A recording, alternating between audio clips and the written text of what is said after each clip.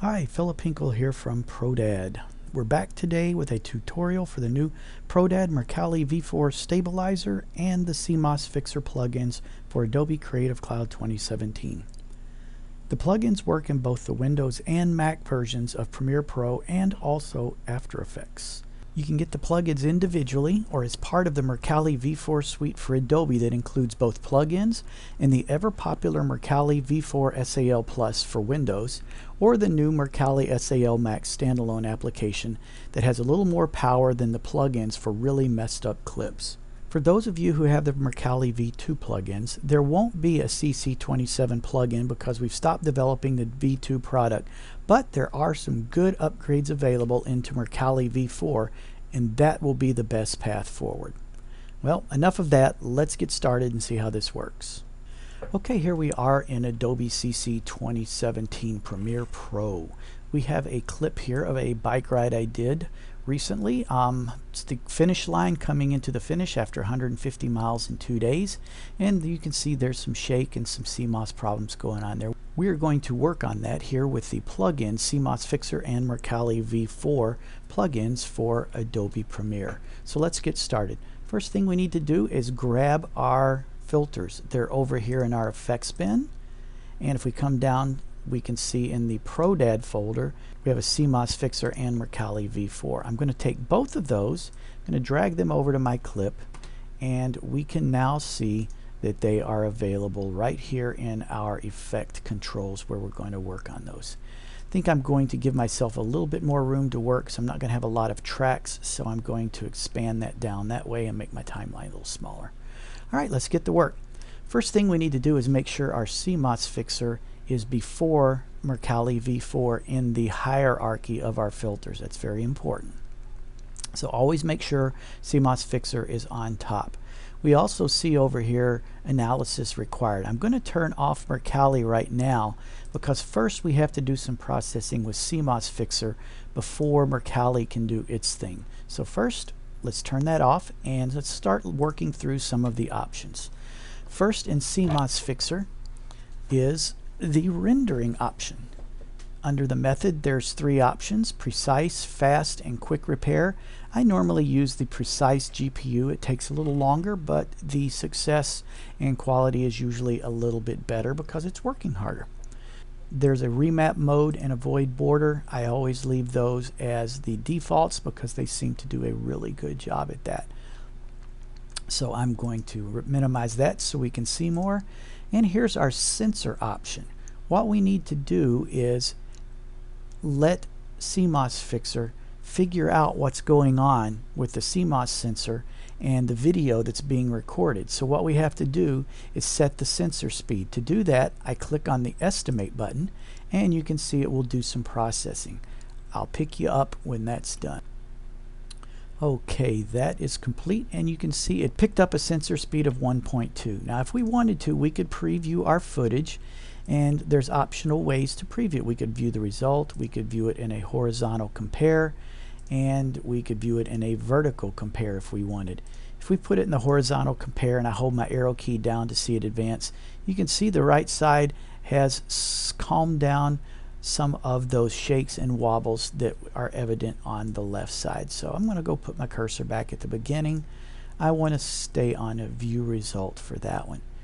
That's really all that you need to worry about in CMOSfixr.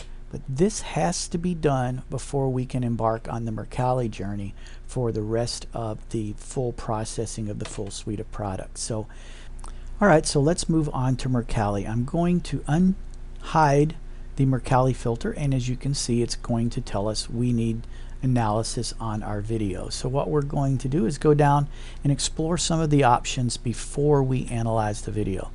First thing under camera is there's different kinds of stable cams. I usually select the universal camera. It's kind of a good all around. There's other options here if you want to try some of those my experience has been most of the time the universal works really well. Now here's a trick and here's something you need to know. So remember this one tip.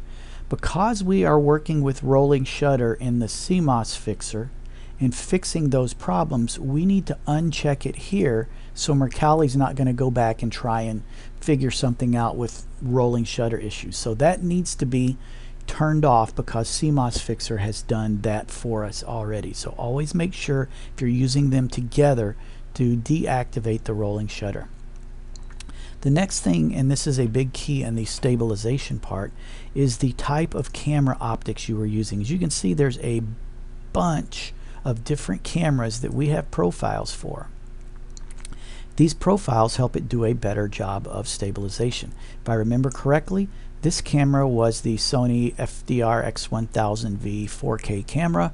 I believe I was recording that in 1080-60, but that is the camera I used. And I want to leave the Keep Camera Dynamic option turned on. What that does is it tells it, it tells Mercalli, okay, we want to stabilize, we want to smooth, but this camera had movement. Don't make it look like it's on a tripod. It, it should have some organic feel to it and not be absolutely rock solid steady like it's on a tripod. That just says it's a dynamic and a moving camera. Next thing we need to do before we embark on any of this other stuff in the learning process is we need to analyze our video now. So I'm going to click the Analyze button and you can see it moves along pretty quick on the analyze because I've got a clip that's only seven seconds long so it won't take a long time to analyze. And there we have it. It is finished. Okay now if we want to come down here if we we could select view mode just like we did up here and we could view it in horizontal compare. And you can see there is some cropping on the right side compared to the left side. And you can see there's a lot less sway and movement in the right side than there was on the left side. I'm going to turn that back off for now because there's some other things I want to show you. First thing is the avoider. This is kind of like a zoom control. If you crank this number up, and you can get the sliders by clicking here, if you crank this number up, you're going to zoom in on your footage. I'm on 0.22 right now. I'm going to remember that number. So if I zoom in, you can see that it zoomed in a little bit as I move that slider. It helps with the stabilization, but Mercalli is trying to find a happy balance of, okay, you got one spot that's really bad, but the rest of it I'm going to stabilize. You can use this to crop it in more and do more stabilization. So leave that alone for now. I will show you a trick on how to use that a little bit more in a few minutes. So I'm going to turn that off. So I'm going to minimize that arrow and I'm going to come down to the rendering option. There's a remap mode. Again, I always leave this one on the default and it always does a good job for me so let's just leave that. There's a view mode which we've already dove into so I'm not going actually let's turn that back to horizontal for what we're going to do next. Next is the charts and this is where that avoid border can come in handy. Alright see right here where it says off. If I turn on pan this is a chart for the pan tilt smoothing for panning left and right. There's also one for roll and a bunch of others. The three I use the most are the pan the roll and the dynamic scaling. I'm going to show you the pan and the roll real quick. Alright if we want to we can turn on an extra high view so we can see better details now, see these lines right here? These are spots where Mercalli has processed your footage and it deems those as spots where if I fix those, it's going to crop your footage more than I want to. Okay, if I come back here to my avoid border and I open that slider up, if I slide it to the right, you can see those red lines start to disappear. Okay, that one red line there on the left, it looks like it's not going to uh, get rid of that unless I crop it a whole lot. So I'm going to accept that one. But now what I've done is I have cropped my footage in over here just a tiny bit more so Mercalli has room to react to that spike in my video. That's how you use the charts.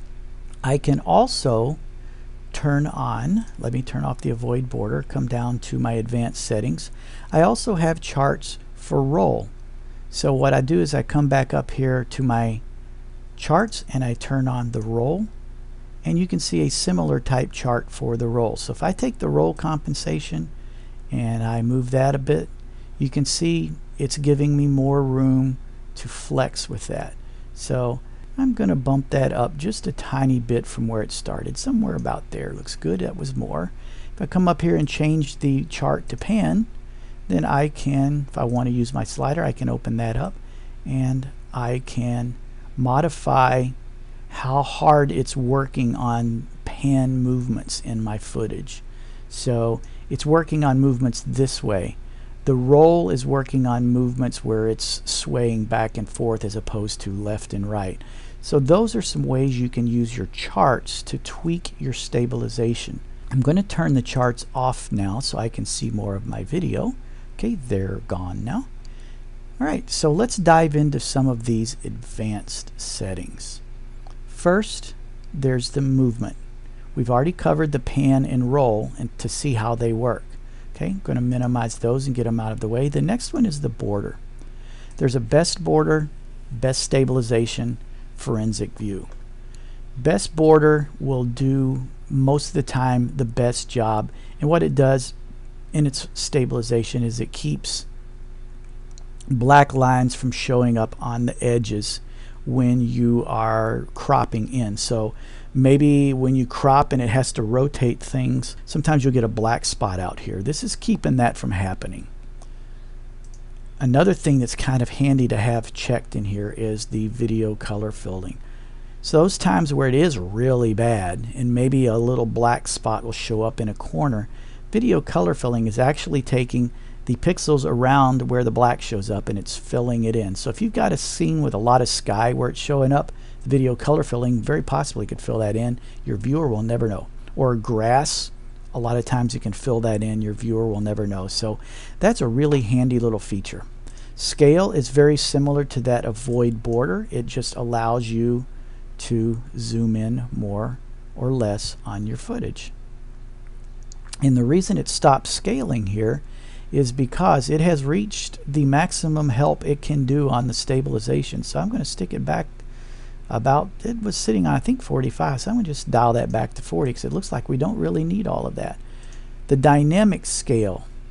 Okay, let me show you with the charts again what that does, the dynamic, dynamic scaling and you can see here how it goes up and then it's lower in the corners. What happens is your footage gets worse. Mercalli is having to zoom in on your content and as it gets better it will slowly zoom out. The dynamic scale is actually just taking and determining how fast Mercalli will zoom in and out. If you crank it up too much your footage is going to pulse back and forth as the zooming is taking place. If you zoom it out too little, if you put the scale number too small, you're going to end up with footage that could have some more bump in it because there's not enough cropping going on. So that is a handy feature from time to time depending on your footage. I have used that to tweak my footage and gotten some better results from it on occasion. Let's close down the border and go to perspective. There's an X axis compensation, a y axis compensation, and a zoom axis compensation. Again, if I turn the chart on for X and Y and click on that and turn it on, you can see there's there's a chart here that shows you how much is going on. If we open that up and tweak that setting, you will see some of those numbers change to try and stabilize your footage on the x-axis some more. Just for fun, eh, let's dial that up a little bit. The y-axis works the same way, the zoom axis the same way. Feel free to experiment with those and you can learn a whole lot more about what they're doing. And last is an image adjustment. If you shot your footage a little off center, you can rotate it, which I don't need to do on this one, so I'm going to hit the reset button and put it back. And if for some reason you just wanted to crop it some more to maybe get a feature out of the corner um, because it's annoying you, you can use the crop function and it will zoom your footage in and out. You can see that on the right side there because that's the corrected footage. Again, I'm going to come up here and turn off my charts because I don't want them on for the final piece. Now, one thing I will say, all these advanced settings and some of these features along here, I explained these in our Mercalli V4 SAL Plus tutorials. I've done like four tutorials on Mercalli V4 SAL Plus. Three of them were advanced tutorials that dive into some of these features and show you in depth what's going on and how to use them. You may want to check those tutorials to learn a little bit more about them and you can apply some of those same techniques and some of those same theories to these options here. They're exactly the same. They're just pulled right out of that SAL app and dropped here into the plugin. That's really all there is to it. Um, if you wanted to, you could reanalyze again, but it's already been analyzed for stabilization and now we've tweaked it. The only thing is to do is to render it, which I will hit the enter key to start my render process, and we will have our footage fixed up. Okay, I've done a side by side so you can see the optimized versus the raw footage. I hope this tutorial has helped you learn a little bit about the ProDAD CMOSfixr and Mercalli V4 plugins for the Adobe Premiere Pro and After Effects. If you're using After Effects, the filters and the functionality will look identical to this. It's just they will be accessed in a different way via After Effects. So hope this helped you a little bit and enjoy the editing and enjoy your improved footage. Thanks and you have a good day.